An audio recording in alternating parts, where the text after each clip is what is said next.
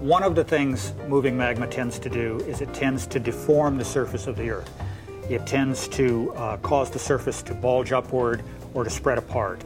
One of the instruments we use to measure deformation is a tilt meter.